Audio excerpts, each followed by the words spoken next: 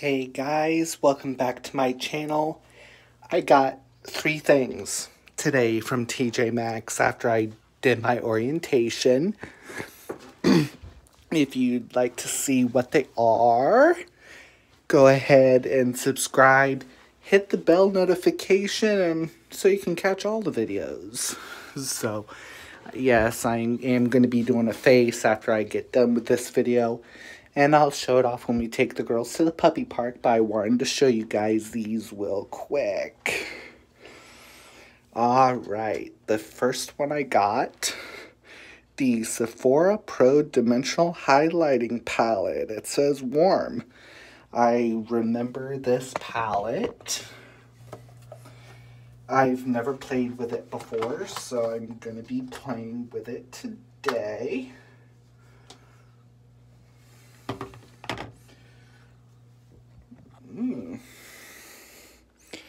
Looks interesting. It does look interesting. So there's Lunar Gaze, Spectrum Glaze, Golden Dimension, Ray, and Double Star. Looks like it's been played with a little bit, but that's okay. Looks like a lot of the product is still there. Alright. The next thing, after I put this back in its thing, the Blush and Bronze palette from Profusion. The reason I got this is because the blush that I have isn't very good. At least it doesn't show up very well for me. So that's why I got this, the blushes.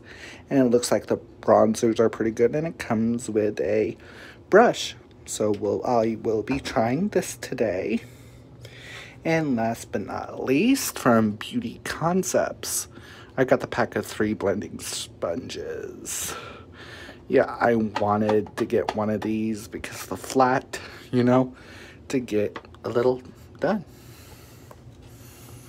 So, hope you guys are having a good day and you'll see what I do in the next video.